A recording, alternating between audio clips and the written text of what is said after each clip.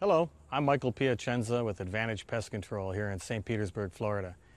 I'm oftentimes asked, how do I get rid of fleas in the grass? Okay?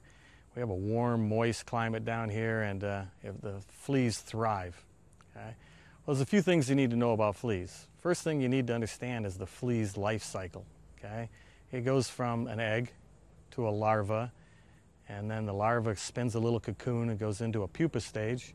And in that stage, you know, that's like they're wearing armor. Okay? and then they hatch out of that into the adult stage. Now they live as an adult for about seven to 10 days. So everybody wants to kill the adults, but you need to kill the entire life cycle. That's the key to it, all right? So the best thing to do is to put down granules, right? Granules are gonna activate uh, first time they get wet, and then it's gonna work again the next time it gets wet, unless we get one of those deluges that's gonna wash it all away.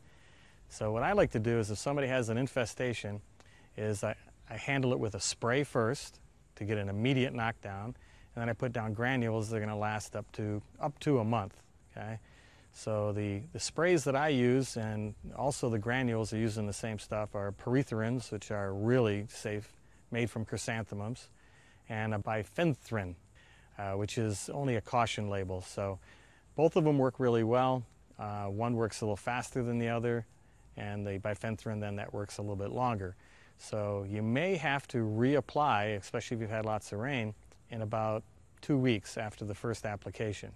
If the conditions are right, the first application is going to wipe them out. So you got to watch for that entire life cycle. All right.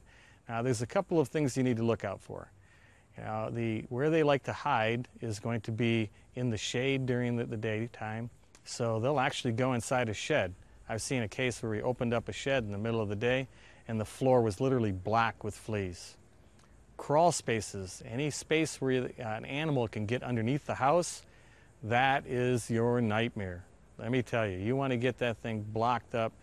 You know, nobody wants rats underneath there, but can you imagine possums and stray cats and your pet dog Fluffy going under there?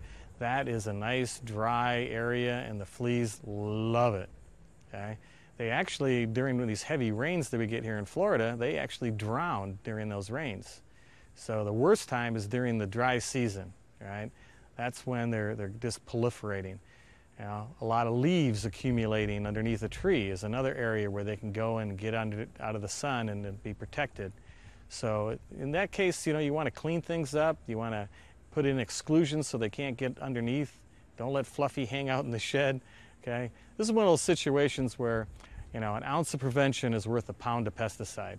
So that's uh, my advice to you. Uh, good luck. I'm Michael Piacenza with Advantage Pest Control in St. Petersburg, Florida. Good day.